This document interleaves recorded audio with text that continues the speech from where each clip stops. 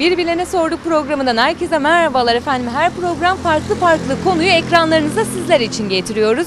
Şimdi de klimalarla ilgili konuşacağız. Yanımda İsmail Erbil var, e, firma yetkilisi, firma sahiplerinden. Merhabalar. Merhaba, hoş geldiniz. Hoş bulduk. E, sizinle bugün klimalar hakkında konuşacağız. E, öncelikle kaç çeşit e, klima türü var? Bir bahseder misiniz? Öncelikle eskiden bilinen klimalara göre on-off cihazlar vardı. Yaklaşık bir 4-5 senedir de inverter dediğimiz yeni nesil cihazlar var.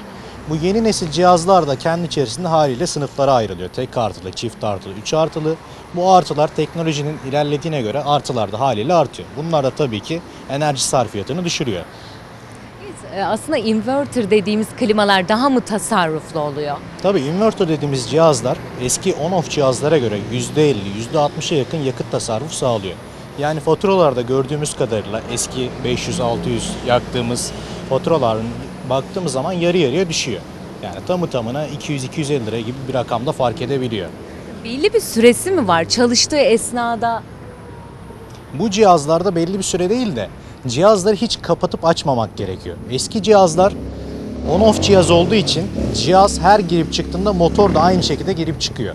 Demiraj akımı dediğimiz bir olay var. Bu demiraj akımı cihaz her ilk girdiğinde devreye daha fazla akım çeker. Bu demiraj akımı deriz buna. Ama yeni nesil cihazlarda ilk önce cihazı açtığımız zaman yani cihaza elektrik girdiği zaman motor bir kere çalışır bir daha devreden çıkmaz. Haliyle bu devreden çıkmayacağı için motor gir çık yapmadığı için akımı da haliyle düşürmüş oluyor. O yüzden hani diyoruz ya yeni nesil klimalarda cihazı hiç kapatmayacağız diye. Bundan dolayı diyoruz. Cihazın hiç kapanmamasını tavsiye ediyoruz biz. Aslında herkes tasarruflu olarak şey yapıyor ama şu anda yeni nesil dediğimiz e, inverterler daha mı çok rağbet görüyor? Tabii ki. Eski klimalar artık rağbet olmuyor. Çünkü yakıt yarı yarıya. Çünkü insanlar düşünüyor ki haliyle ben bu elektrik faturasına vereceğim ücreti klimanın taksitini çıkarırım ve kısa zamanda da bir sezonda, iki sezonda cihazın fiyatını amorti ediyorum diye düşünüyorlar zaten. Ondan dolayı herkes inverter cihaz ve markalarda artık on-off cihaz da üretmiyorlar, inverter cihaz üretiyorlar. Aradaki sınıflandırma farkı da tabii ürün satışında marka ve artı olaylar yani tek artılı mı, iki artılı mı, üç artılı. Müşteri de buna göre kendi bütçesini değerlendirerekten ona göre cihazını seçiyor. Cihazı alıyoruz ama klimanın bir de bakımları var. Tabii her şeyden önce bakım çok önemli. Hem sağlığımız açısından ve aynı zamanda cihazın tasarrufu açısından. Çünkü tıkanmış bir klima, kirlenmiş bir klima haliyle ısıyı yayamayacağı için istenilen sıcaklığa getirene kadar hissedemediği için daha fazla çalışacak. E daha fazla çalışınca haliyle elektrik sarfiyatı da artacak. E, sağlığa gelince zaten ortamdaki sürekli aynı havayı çevirdiği için bu da ortamdaki bütün bakterileri, mikropları cihaz kendisi topluyor üzerine. Topladıktan sonra tekrardan ne yapıyor? Bulunduğumuz ortama tekrardan üflüyor. E sürekli düşünseniz ya hani sigara dumanının olduğu ve hani pis ortamlarda çalışan klimaların haliyle İçine çekiyor. içine çekiyor. Bu da bize üflüyor tekrardan. Bu da bizim sağlığımızı bozuyor ve ölümcül durumlara kadar da gelebiliyor. Hatta çok bilinen bir lejyoner hastalığı diye bir hastalık var. Bunlardan dolayı insanlar büyük hastalıklara sahip olabiliyorlar. Bakımı yapılan klimanın e, diğerlere nazaran çalışması daha mı iyi oluyor? Tabii haliyle daha rahat çalışacak. Çünkü üzeri kapandı. EBAP dediğimiz bir sistem var. Bu bakırdan oluşuyor. Ve aynı zamanda bu içeriği ortamı havayı üfleyen bizim fan pervanemiz var. Fan pervanesiyle EBAP'ın üstü tıkalı olunca cihaz ister istemez o klimada oluşan soğukluğu içeriye veremeyecek. Çünkü önünde bir engel var. O pislikler tamamen onu kapatmış olacak. Haliyle klimada yeteri kadar performans veremeyecek. Klima servisleri ne gibi işlemlerde yardımcı olabiliyor?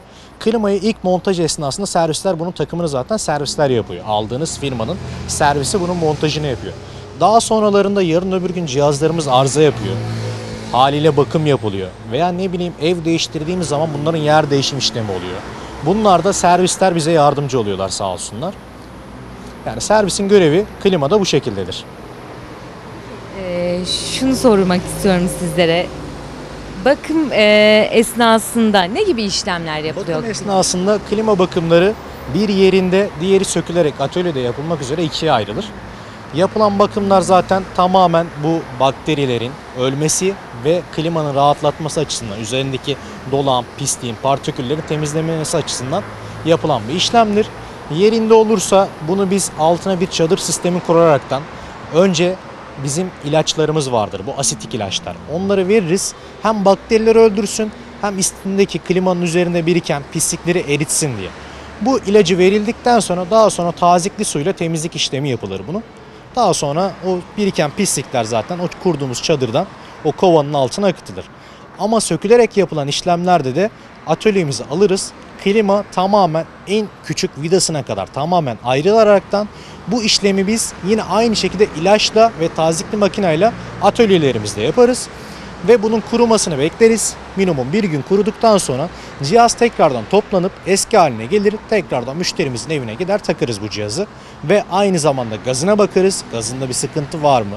Çalışmasında bir sıkıntı var mı? Ne bilelim bir tesisatta bir kaçak olabilir klimanın tesisatında. Bunların kontrolü yapıldıktan sonra müşterimize çalışır durumda teslim ederiz zaten. İsmail Bey bizim sokağa sormuş olduğumuz bir VTR'miz var. İsterseniz bir VTR'mizi izleyelim. Kaldığımız yerden sohbetimize devam edelim. Antalya gibi sıcak bir yerdeyiz. Klima kullanıyor musunuz? Kullanmasak yaşayamayız ki burada ya. Antalya. Peki klimanın bakımlarını yaptırıyor musunuz? Tabii o gaz oluyor tüpü falan filan derken oluyor. Yaptırıyoruz her sene. Evde kendinizin e, filtre temizlediği falan oluyor mu? Tabii. Islatıyorsun onu yıkıyorsun falan değil mi? Yani yanlış bilmiyorsam öyle. Evet yapıyoruz öyle. Peki e, temizliğini kendiniz mi yaparsınız teknik servise mi? Ser, teknik servis. Genelde bir arızalanma yaşıyor musunuz Şu klimalarınızda? anda hayır. Herhangi bir arızalanma yok. Yaz aylarında klimayı kullanır mısınız? Evet hiç kapatmıyoruz. Her gün açık mı klima?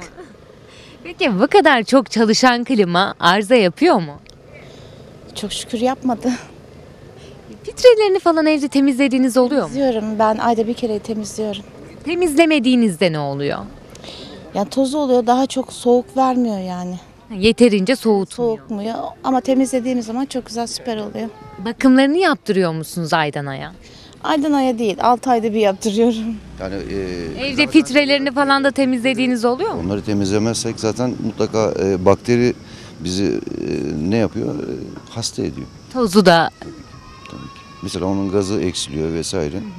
Ya zaten şunu söyleyeyim. Klima bakımına geliyorlar ya. Sen istersen bir ay önce baktır. Aa çok tozlanmış deyip yine e, paranı alıyorlar. temizlemeye getir. Tabii ki yani mutlaka paranı alıyorlar. Peki e, evde temizliğini yaptığınız oluyor mu klimanın? Biz yapmıyoruz da e, tamirciler gelip şey yapıyor. Peki ne sıklıkla yaptırıyorsunuz bakımını? Yılda bir kere. Klima kullanıyor musunuz? kullanıyorum. Ne sıklıkla kullanırsınız? E, Çok nadir şeyim de var, vantilatörüm de var. Onu evet, ortamı soğutup sonra vantilatöre geçiyorum. Çok kullanmıyorum. Peki bakımlarını evde kendiniz mi yapıyorsunuz, servise mi yaptırıyorsunuz? Filtrelerini kendim yıkıyorum. Ama Filtreleri temizlemediğinizde so- yeterince soğutmuyor mu? Soğutuyor şimdilik. İyi benim klima güzel. Peki çok teşekkür ederim. ben teşekkür ederim. Sağ olun.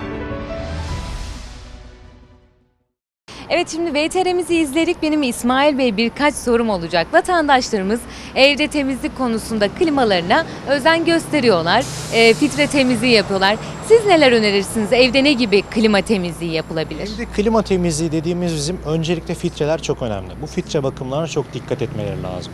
Özellikle yaz dönemlerinde bu cihazı çok sık kullandığımız için yani bunu 2 haftalık 3 haftalık dönemlerde filtreyi çıkarıp bir soğuk suyun altına tutup o içindeki pizini, tozunu akıttıktan sonra tekrar klimaların yerine filtrelerini oturtuyor. Bu filtre temizliğine çok önem veriyoruz. Ne kadar aslında filtre temizliğini o kadar fazla yaparsak klimanın da bakım ömrünü uzatmış oluyoruz. Çünkü üstündeki filtreler Üzerine toz filtresi deriz biz onları. O tozu üstünde hapsediyor ve biz bunları temizlemezsek cihaz o tozu bu sefer kendi fanının ebabının üstüne çekmeye başlıyor. Haliyle ne oluyor? Klimanın bakımı daha çabuk zamanda geliyor ve bu da haliyle cihazın çalışmasına engel oluyor. E, gerçekten de e, va- vatandaşlar da aslında bu konularda bilinçli insanlar. Evet vatandaşlar artık eskisi gibi hani e, eski düzende klimalarını çalıştırmıyorlar. Onlar da verdikleri paraları hani heba olmasın diye cihazlarına bakıyorlar aslında. Yani cihazlarına bakacaklar, sağlıklarına bakacaklar. Klimada her şeyden önce sağlık. Bu çok önemli. Sağlıklarına dikkat etmeleri gerekiyor. O filtrelerin temizliğini yapmaları gerekiyor. Çünkü çoğu yerlerde mesela sigara içiliyor. Yani klimaların olduğu yerde hem klima Aslında doğru bir şey değil bence. Hiç doğru bir şey değil. Çünkü o sigara dumanını zaten sigara zararlı bir madde.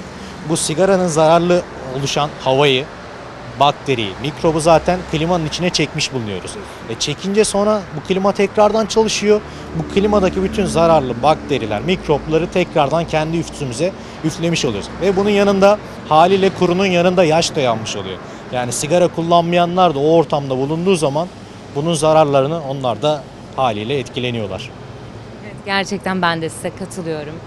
Ee, İsmail Bey bir de yaz ayları ve kış aylarında klimayı kaç derece çalıştırılmalıyız diye soranlar oluyor. Şimdi klima derecesi aslında biz klimada dereceyi ayarladığımız zaman ortam sıcaklığını ayarlarız. Yani klimanın çalıştığı odanın sıcaklığını ayarlarız. Bu sabit bir sıcaklıktır aslında. Hani yaz kış çok fazla fark etmez. Birer iki derece oynar. Biz genelde müşterilerimize 26-27 dereceleri öneriyoruz. Çünkü eğer klima gerçekten ortama göre seçildiyse, ona göre metrekarede kullanılıyorsa kaçlık oldu. Yani bu klimayı tutup da 23'te 24'te çalıştırırsak haliyle ortam daha soğuk olacak. Bu da bizi hasta edecek, üşütecek. Çünkü bir anda 23-24 dereceyi görüp dışarıda 35 dereceleri görüyoruz. Bu haliyle bizim vücut direncimizi kıracaktır. Yani yazında, kışında ortalama değerlerde yani 26-27 derecelerde kullanmalarını tavsiye ederiz müşterilerimize. Klimalarda ne tür hatalar e, daha çabuk erken bozulmasına sebebiyet veriyor? Aslında biraz bahsettik ama Aynen. Klimalarda en çok hani yapılan hatalar yani metrekareye göre klima takılmaması. Şimdi haliyle büyük alanlara küçük klima takarsanız klima ne olacak? Hani doğru düzgün otomatik yapmadan, kendini dinlendirmeden düşük devirlerde çalışmayacağı için klima haliyle bir fazla çalışacak. Yani biz ortalama mesela 20 metrekare olan alanlara 9'luk 12'lik cihazları öneriyoruz. Bunun üstünde atıyorum 30 metrekare, 40 metrekareye tutup da 9-12'lik cihaz takarsak haliyle klima çalışacağından bir fazlasını çalışaraktan kendi ömrünü tamamlayacaktır. Bu da belli bir süre sonra kompresörde arızalar çıkartacaktır. Yani dış kaynaklardan da olabilir tabi. Elektriksel kaynaklar özellikle klimaların bozulmasında çok etkili oluyor. Kart yanmaları bunlar haliyle bize daha da masraflı maliyetler çıkartabiliyorlar. Ondan dolayı en azından bir klima almadan önce iletişim kuracakları bayilerle, servislerle en azından bir muhatap alırlarsa onlardan bir keşif talebi özellikle bu keşif talebini kullanırlarsa zaten çoğu firma bunu ücretsiz olarak karşılıyor. Bu keşif talebini de kullanırlarsa hangi odaya, kaç metrekareye, kaçlık klima lazım olduğunu servis ve bayi söylerse en azından doğru bir tercih yapmış olacaklardır. Buna da dikkat edilmeli. Tabii bu çok önemli çünkü haliyle küçük yere büyük klima takılmaz, büyük yere küçük klima takılmaz. Ya bu hem elektrikten bize zarar verecektir ve haliyle klimada gereksiz yerde çalışacağı için bu da yarın öbür gün cihazda sıkıntı çıkaracaktır. Klima alırken e, sınıflandırma dereceleri de önemli mi sizce? Sınıflandırma dereceleri az önce bahsettiğimiz gibi bunların şu an için zaten sıfır klima alacaklarsa eskisi gibi on off yok inverter klimalar var. Bundan sonraki dikkat edecekleri olaylar ise cihazın yani bu bizim tek artılı, iki artılı, üç artılı dediğimiz enerji sınıfları var. Bu enerji sınıflarına dikkat etmeleri lazım ve artık klimalar içinde bulunan gaz daha önce çevreye ve aynı zamanda ozon tabakasına zarar veriyordu. 22 gazlar var. Halen 410 gazlar var bizim klimalarda. Sıfır klimalarda da kullanılıyor. Ama artık yeni nesil gazlar var. 32 gazlar. Bu 32 gazlar ne çevreye zarar verir, ne ozon tabakasına zarar verir, ne insan sağlığına zarar verir. Yani klima alırken artık en son teknoloji neyse insanlar onu araştırıp almalı. Mesela şu anki klimalarda 32 gazlar kullanılıyor. Öncelik olarak bu gazlarla olan cihazlara önem verirlerse hem kendileri açısından hem de çevre açısından fayda sağlayacaktır. Ben bir klimanın ömrü kaç senedir onu merak ediyorum. Bir klimanın ömrü düzenli bakım yapıldıktan sonra düzgün bir yerde yani kapasitesine göre bir yerde çalıştıktan sonra yani 10 sene gibi bir ömür biçebiliriz aslında. Yani teknoloji çok fazla üstüne de çıkarmıyor, altına da düşürmüyor yani. Teknoloji ona göre ayarlıyor kendisine. Bazı durumlarda klimaların e, su akıtmasıyla karşı karşıya kalıyoruz. Bunun sebebi nedir? Klimaların su akıtmasındaki sebeplerden başlıca montajda yapılan hatalardır. Yani su giderin eğimini düzgün bir şekilde vermezse bunu montaj ekibi klima su akıtır. İkinci bir sebep ise yine her şeye geldiğimiz gibi bakım. Yani düzgün bakım yapılmazsa veya bakım hiç yapılmazsa klimalar haliyle bir yoğuşma suyu ürettiği için bunun yoğuşma kanalları var. Bakım yapılmadığı zaman bu pislikten kaynaklı yoğuşma kanalları tıkanıyor. Tıkandığı zaman da cihaz giderden gönderemeyeceği suyu bu sefer klimanın altından su akıtmaya başlıyor. Bu da haliyle cihaza zarar verir. Yeterince soğutmama durumu da bu gibi nedenlerden aslında. Tabii yani yeterince soğutmama dediğim gibi yine her Bakımları şeye eksik. bakıma geliyoruz yani. Yani düzenli bir şekilde bakıma talebinde bulundukları zaman eğer gelen servis bir yetkili servisse veya işinde bir ustaysa size gerekli şeyleri söyler. Ama şu an için piyasada şunu da altını çizmeden edemeyeceğim. Kendini klimacı diye tanıtıp insanlardan yani 30 lira bakım diye gidiyorlar müşterilerimizin evine. Cebinden 300-400 lira para alıp çıkıyorlar bunlar. Çok büyük bir rakam Çok aslında. büyük rakam. İnsanları aslında bir nevi kandırıyorlar, vicdansızlık yapıyorlar. Klimanın gazı yok diyorlar. Klimanın gazı hiçbir şekilde eğer sistemde bir kaçak yoksa bitmez. Düzgün montajı yapılırsa hiçbir şekilde içindeki gaz kapalı devrede dolaştığı için sistemde bir kaçak olmadığı için bitmez. Bunu insanlara öyle bir aktarmışlar ki bir tüp gibi bunun gazı bitmiş. Hani soğutmadığı zaman gazı bitmiş. Bunu çok duyuyoruz zaten.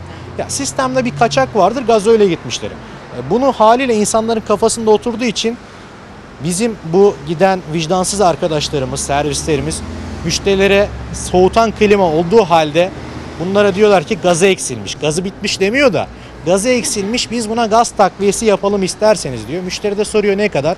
200, 300, 400 lira gibi rakamları boşu boşuna sadece saati bağlıyorlar. Gaz basmadan gaz bastık deyip insanları kandırıyorlar. 30 lira bakım insanların kulağına hoş geliyor ilk etapta telefonda. Hani 30 lira bakım. Ama bilmiyorlar ki o gelen servis bunlara 300-400 lira gibi rakam çıkaracağını. Büyük bir oyun. Bazı çok büyük bir oyun. Zaten devletimiz de bunun peşine düştü. İnsanlara artık belgelendirmeyle veriyorlar. Hani bu sertifikalar halinde yapılıyor bizim işlerimiz. Teknik servis kısımları. Yani genelde yetkili servis ve daha önceden tanıdığınız hani ustalar, bu işin ehilleri onlardan yardım almalarını müşterilerimizden rica ederiz. Hem kendileri için hem de cihazları için yani ceplerine de ve cihazlarına zarar vermemiş olurlar. Çok önemli bir konuya değindiniz böylelikle. Gerçekten Bundan, ekran başındakiler de buna çok çok dikkat etmeli bence. Bundan dolayı hem müşterilerimiz bundan müzdarip ve biz aynı şekilde muzdaribiz. Çünkü kapıdan gelen bizim müşterilerimiz diyor ki bizi telefonla aradılar 30 liraya bakım yapıyorlar. Siz nasıl 100 lira 150 liraya bakım yapıyorsunuz? Bizim yaptığımız bakımlar onlarla bir değil ve aynı zamanda biz onlara 30 lira bakım yapıp da gidip insanların ceplerinden 300-400 yani biz daha büyük rakamlarda gördük 500-600'lerde gördük yani. İnsanların cebinden hak olmayan paraları almıyoruz. Çok teşekkür ederiz Ee, ve son olarak ekran başındakilere neler söylemek istersiniz? Ekran başındakilere teknolojiyi takip etmelerini söylerim. Ve bilinçli olsunlar. Va- Artık insanlarımız zaten bu konularda fazlasıyla bilinçli. İnternetten bakıyorlar. Yani eş dost çevrelerinden yardım alsınlar. Hani sizin programda diyor ya hani bir bilene sor. Kendiniz bilmiyorsanız bir bilene, işin ehline sormalarını tavsiye ederim ben bunu. Çok teşekkür Rica ederim. ederim. Rica ederim. Yardımcı olursak.